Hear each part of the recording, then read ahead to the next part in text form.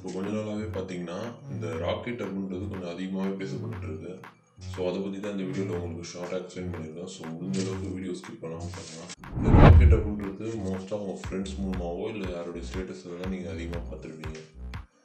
ஏன்? உங்கள் ஃப்ரெண்ட்ஸு கூட மச்சான் இன்வெஸ்ட் பண்ணுறா லாஸே இருக்காது. போட்ட காசு இருபது நாளில் எடுத்துடலாம் அப்படின்னு சொல்லியிருப்பானுங்க சரி அது எப்படி போட்ட முதல் நாளே காசு ரிட்டர்ன் ஆகுதுன்னு கேட்டிங்கன்னா எல்லாரும் சொல்கிற ஒரே பதில் க்ரௌட் ஃபண்டிங் இந்த ராக்கெட் டப்பில் இன்வெஸ்ட் பண்ணுறவங்க இல்லை ரெஃபரல் கொடுக்குறவங்க எல்லாரும் பார்த்தீங்கன்னா இந்த க்ரௌட் ஃபண்டிங்கிற வார்த்தை பின்னாடி தான் ஒழிஞ்சிட்டு இருக்காங்க சரி முதல்ல நம்ம இந்த க்ரௌட் ஃபண்டிங்னா என்னென்னு பார்ப்போம். எக்ஸாம்பிளுக்கு இந்த இவர் பார்த்தீங்கன்னா ஒரு ஸ்டார்ட் அப் பண்ண ஆரம்பிக்கிறாங்க நாங்கள் ஒரு பிஸ்னஸ் ஒரு ஸ்டார்ட் பண்ணுறாருன்னு வச்சுக்கோங்க ஸோ இவருக்கு வந்து ஒரு முதலீடு தேவை. ஸோ அதுக்கு தான் வராங்க இந்த இன்வெஸ்டர்ஸ் இந்த சீனில் வந்து இப்போ நீங்கள் தான் இன்வெஸ்டர்ஸ் உங்களுக்கு போட்ரை பண்ணிக்கோங்க. இப்போ நீங்கள் என்ன பண்ணுவீங்கன்னா உங்ககிட்ட இருக்க காசை வந்து நீங்கள் அந்த ஸ்டார்ட் அப்புக்கு கொடுப்பீங்க. ஸோ அது வந்து அவங்களுக்கு ஒரு முதலீடாக இருக்கும். இது வந்து இன்வெஸ்டர்ஸ் வந்து ஒருத்தர் ரெண்டு பேர் இல்லை அது எத்தனை பேர் வேணாலும் போவோம். ஒன்ஸ் எப்போ இந்த பிஸ்னஸ் ஒரு நல்ல பிரேக் த்ரூ கிடச்சி ஒரு நல்ல ப்ராஃபிட் கிடைக்குதோ அப்போ பார்த்தீங்கன்னா நீங்கள் போட்ட காசு வந்து உங்களுக்கே ரிட்டர்ன் கிடைக்கும். ஸோ அது வந்து நீங்கள் போட்ட ஸ்கீமை பொறுத்து. ஒன்று இன்ட்ரெஸ்ட் படி கிடைக்கலாம் இல்லைனா நீங்கள் போட்ட அமௌண்ட் அப்படியே கிடைக்கும். இல்லைனா அந்த கம்பெனியோட ஒரு ஷேர் ஒரு பகுதி உங்களுக்கு கிடைக்கும். அது எவ்வளோ பெரிய பிஸ்னஸாக இருந்தாலும் அது ப்ராஃபிட் கிடைக்க அட்லீஸ்ட் ஒரு ஒன் டு டூ இயர்ஸாவது ஆகும். இந்த ஒரு நாளில் கிடைக்கிறதுலாம் வாய்ப்பே இல்லை. ஸோ இதுக்கெல்லாம் முன்னாடி இந்த இன்வெஸ்டர்ஸையும் இந்த ஸ்டார்ட் அப்பையும் ஒன்று சேர்க்கறதுக்கு ஒரு ஆள் தேவை. ஸோ அவங்க தான் இந்த இன்டர்மீடியேட்ன்றவங்க அதாவது ஒரு ப்ரோக்கர்ஸ்னு வாங்க. ஸோ இதில் குறிப்பிட்டு சொல்லணும்னா இந்த Crowdrise Kickstarter Ketto Patreon Crowdfunder rocket up அதான் இல்லை. ஏன்னா இந்த ராக்கெட் அப்பில் பார்த்தீங்கன்னா ரெண்டு ராக்கெட் அப் இருக்குது ஒன்று தான் இதில் ரியல் இன்னொன்று வந்து ஃபேக்கு ஸோ இப்போ லெஃப்டில் இருக்கிறது பார்த்தீங்கன்னா இதான் முதல்ல வந்து ராக்கெட் அப் நீங்கள் இப்போ விக்கிபீடியாலாம் தேடி சொல்லியிருப்பாங்க. இது டூ தௌசண்ட் நைன்லேருந்து இருக்குது எஸ்டிமேட்டட் டூ தௌசண்ட் டுவெல் அப்படி இப்படின்னு அதெல்லாம் பார்த்தீங்கன்னா இந்த லெஃப்ட் சைடில் இருக்கிற ராக்கெட் அப் தான் டூ தௌசண்ட் நைனில் உருவாக்குனது. சரி இப்போ வந்து முதல்ல இந்த ஒரிஜினல் ராக்கெட் வெப்சைட்டை போய் பார்ப்போம்.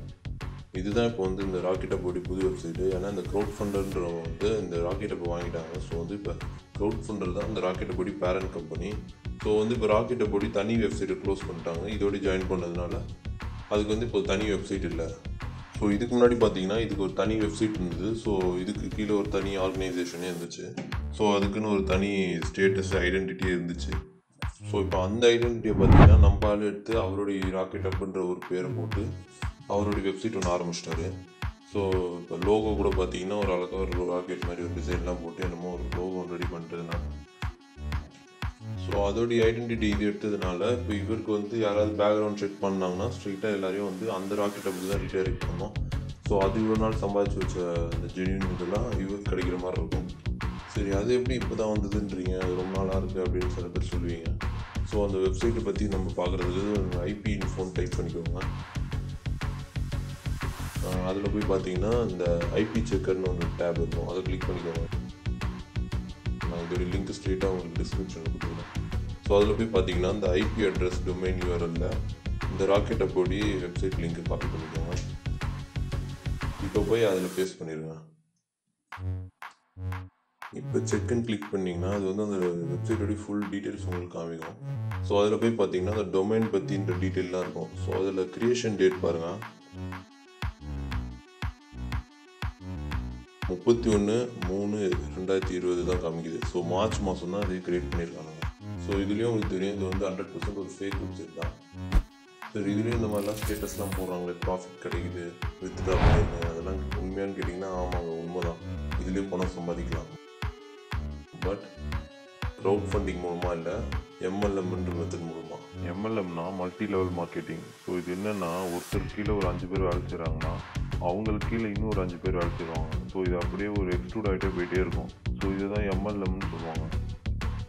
இந்த மார்க்கெட்டிங் மெத்தட் வழியாக தான் இந்த ஆம்பே நியூட்ரிலைட் டபர் வரலாம் சேல் பண்ணிருந்தாங்க பட் வந்து இந்த எம்எல்எம்க்கும் இந்த ராக்கெட் அப்புக்கும் என்ன வித்தியாசம்னா இந்த எம்எல்எம்மோடைய ப்ரைமரி கோல் என்னென்னா ப்ராடக்ட் சேல் பண்ணுறது அப்புறம் சைடில் தான் இந்த அஃபிலியேஷனு ரிவார்ட்ஸ் இதெல்லாம்.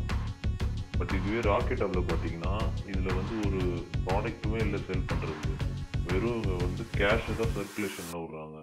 ஸோ இதுக்கு பேர் வந்து பிரமிட் ஸ்கீம்னு சொல்லுவாங்க. வெறும் கேஷை வச்சு சர்க்குலேஷன் இருந்ததுன்னா அதுதான் பிரமிட் ஸ்கீம் இதில் ஒருத்தர் கட்டுற அந்த ஜாயினிங் ஃபீஸை தான் பிரித்து எல்லாருக்கும் ஷேர் பண்ணிகிட்டு இருக்காங்க. ஸோ ஒன்ஸ் எப்போ இதில் ஜாயின் பண்ண ஆளுங்களே கிடைக்கலையோ அப்போ பார்த்தீங்கன்னா இந்த மொத்த ரொட்டேஷனுமே ஸ்டாப் ஆகிடும்